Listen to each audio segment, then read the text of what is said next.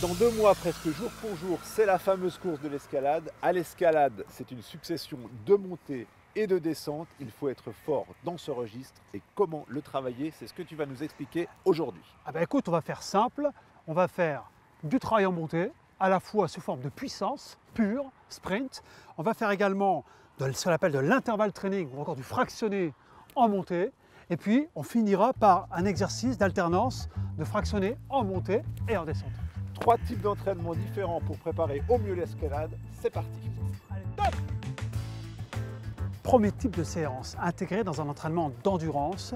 On va réaliser 6 sprints à plein régime, à 100% des capacités, sur une distance de 50 mètres dans une côte relativement raide.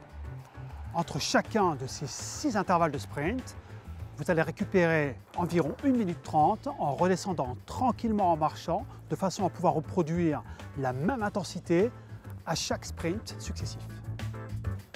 Deuxième type d'entraînement, après avoir effectué 20 minutes d'échauffement bien complet, on va réaliser sur des montées de nouveau assez raides d'environ 1 minute 30, 8 répétitions avec retour en trottinant dans la descente qui va correspondre au même temps d'effort, c'est-à-dire 1 minute 30 également.